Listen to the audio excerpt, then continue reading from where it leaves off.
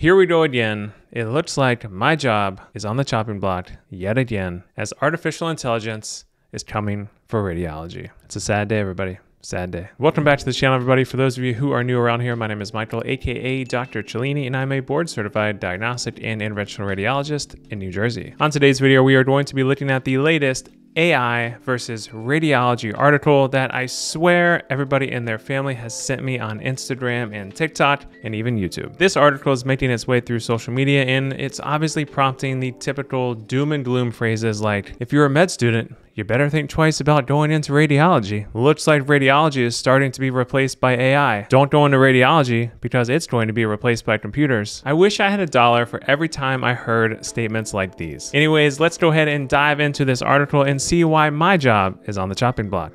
Let's go.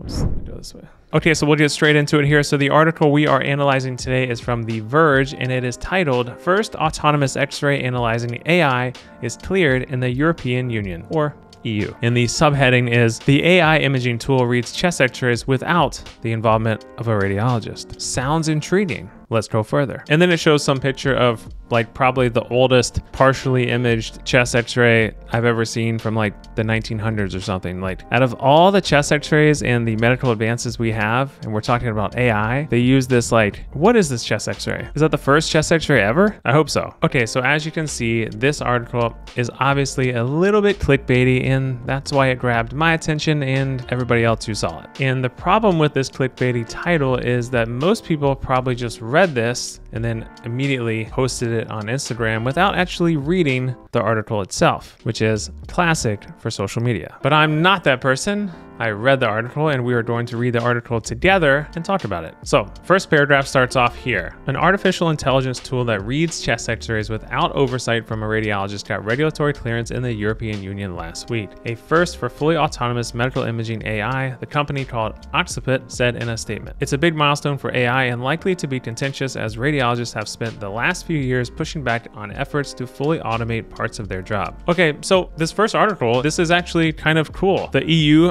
approved a fully autonomous medical imaging AI that can read chest x-rays without a radiologist. Pretty cool so far. But before I go any further, let's see what this company Oxipit is all about. So let's go to their website. All right, so this is the Oxipit website here. I guess we'll click on About Us to learn something about this company. At Oxipit, we create AI tools for global medical imaging. Our mission is to harness the latest AI and machine learning developments for better patient outcomes around the world. By utilizing artificial intelligence, we aim to address the global radiologist shortage and improve diagnostic quality. I'm intrigued. Go on. Also, look at this team. They look like a bunch of nice people. I'd like to work for them. Maybe hit me up.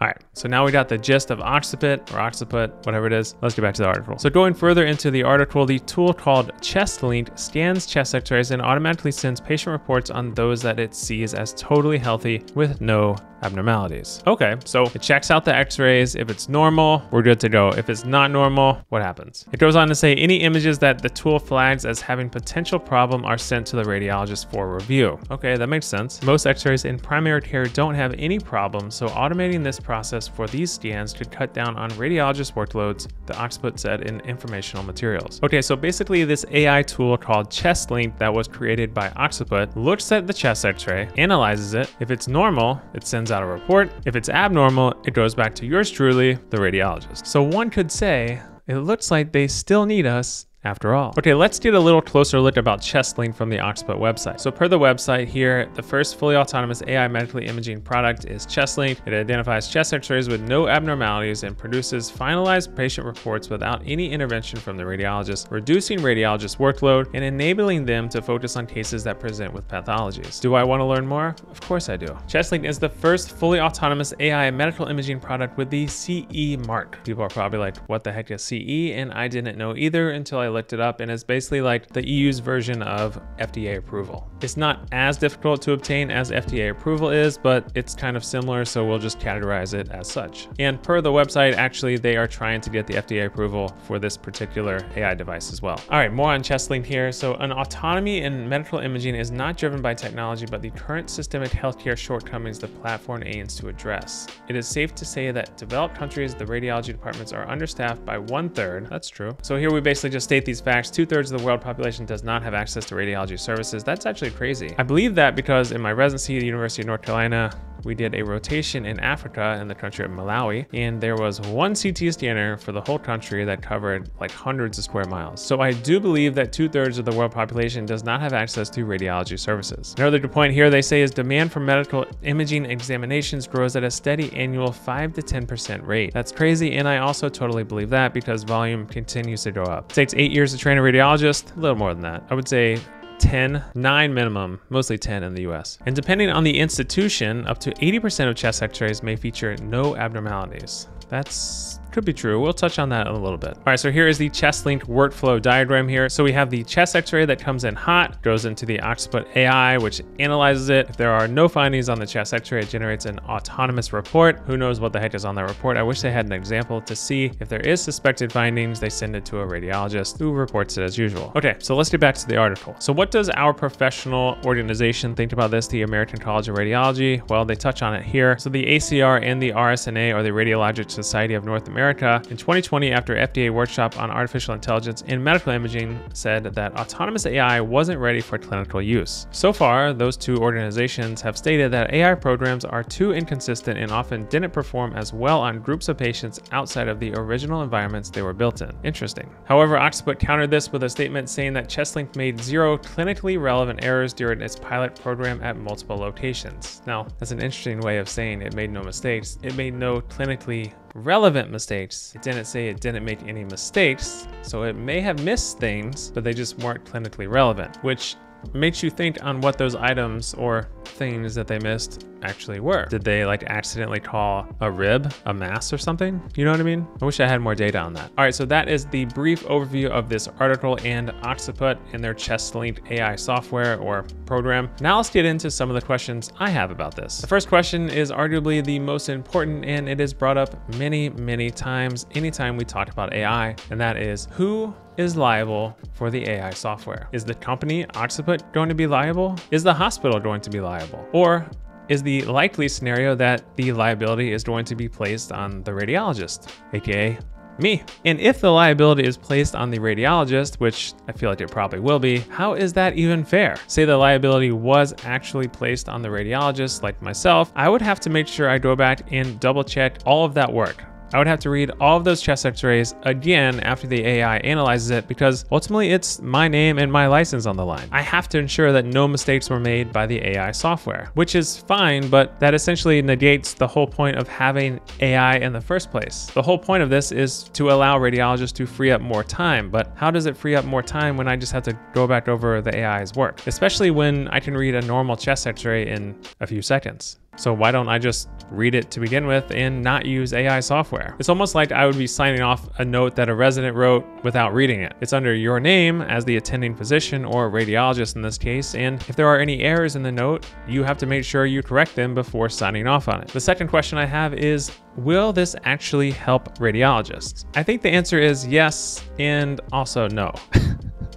That's the most classic answer for me. Yes, because on one hand, it may free up extra time where we don't have to spend reading normal chest x-rays. However, these chest x-rays take about 10 seconds to read, and I'm talking about the normal ones here. And of course, the 10 seconds per x-ray adds up when you're reading a ton of these normal chest x-rays. But to my prior point, what if I just have to overread all of these chest x-rays after the AI does? Then I'm just back to square one. Three, how much does this software actually cost? For starters, reimbursement on a chest x-ray is pennies, essentially.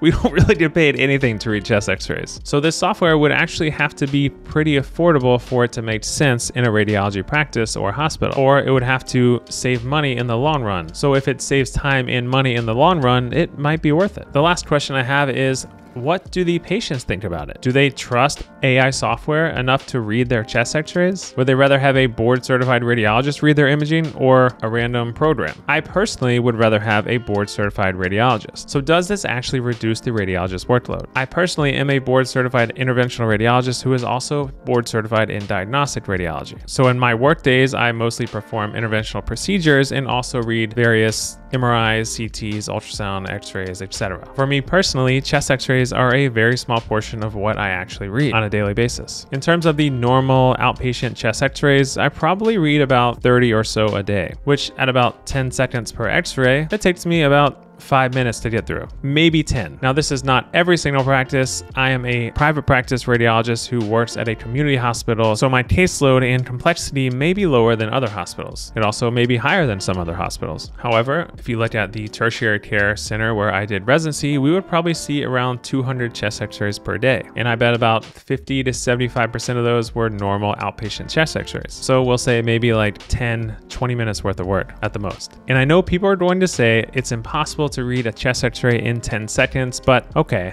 maybe so. But sometimes you can if they're super normal, but we'll say 20 seconds per chest x-ray for the sake of the argument. So let's double everything I said. So maybe it takes 20 minutes to read all these normal chest x-rays. So the Oxipit website stated that it clears up extra time for the radiologist to focus on more pathology forward exams, like maybe a post-op CT or a staging cancer study. So maybe in that extra 20 minutes, I could read, I don't know, two to three extra CTs that I wouldn't have gotten to if I had to read those normal chest x-rays. And that of course depends on how complicated they are. So yes, yes, it may free up extra time for a radiologist, but is it worth those extra two to three CTs per day? Maybe. If it is affordable to the practice or hospital and doesn't require more extra or hidden work from the radiologist, like over reading every single chest x-ray, then it might be beneficial. If this is something like Bitcoin mining that just kind of runs in the background 24 7, then it might be worth it. One thing that I do like about this software and that I touched on earlier is that it may help areas of the world that are lacking radiologists. Just let the AI read the normal x-rays and let the radiologist handle the abnormal ones. One thing I am worried about though is that maybe this just becomes the next EKG AI software. And anytime someone says AI is going to replace radiologists, I simply just mention the EKG. EKG artificial intelligence has been around for like decades now. And guess what? It still isn't reliable. I mean, we're talking about a line here. Like it can't even read a line accurately. So if the radiology equivalent of an EKG is a chest x-ray, let's just hope we don't have the same issue. Is it going to be not trustworthy and constantly having to be checked by a physician? Probably, but only time will tell. And let's not forget, we've had AI software in radiology for quite some time now. Breast imaging has had AI software to help them find abnormal masses in mammograms and tomography and MRI, but it's not widely utilized because it's not perfect. In fact, a lot of breast radiologists don't even use it. Some breast radiologists use it, some don't. And I can tell you one thing that none of them rely 100% on it. So what do I think about all of this? Am I worried I'm going to be losing my job to AI? Is a computer going to replace me? Well, Probably not, or at least not anytime soon. I've always been a huge supporter of AI in radiology because if it's successful, it can help radiologists tremendously. Imaging demands of radiologists have been slowly increasing over time, and I don't see an end in sight. It's almost like we're getting to a point now where we can't keep up with the demands of the imaging. There are just too many people being scanned. After all, we are human, and there's a limit on how fast we can read. Safely, that is. So this is where AI comes in. It's supposed to help relieve some of that burden on radiologists and free up our time to focus on things that demand our attention, like very complicated studies. Again, if it's done correctly and reliably. I still worry about the liability though. Are insurance companies in the US going to pay for this? Or will the US population actually want this? I really am curious to hear your thoughts and I want you to comment below what you think. So in conclusion, I definitely want AI to be incorporated in radiology because I feel like it'll help us quite a bit. And I'm not scared about being replaced by AI because I just don't see that happening anytime soon. Maybe not even in my career. I'm not saying it won't happen, but it might not be during my time. After all, we still have other jobs that could be replaced by AI relatively quickly, but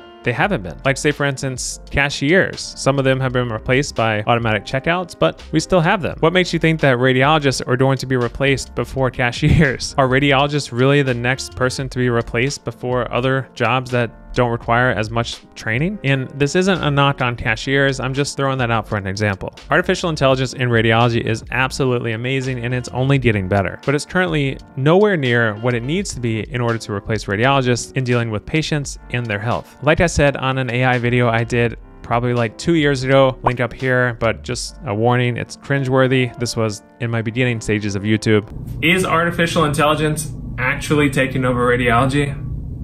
But I said this same line on that video. I'm not anti artificial intelligence in radiology, and I don't think we should be worried about being replaced by AI. But if you're a radiologist, you better embrace it because it may help us out more than we think. As always, thanks for watching this video. I want to know what you think in the comments below about this article and about AI in radiology. I think it's cool. Obviously, I told you everything I think. Now I want to know what you think. Make sure you gently subscribe to my channel. Follow me on Instagram and TikTok if you don't already. And as always, I'll see you all on the next video. Bye.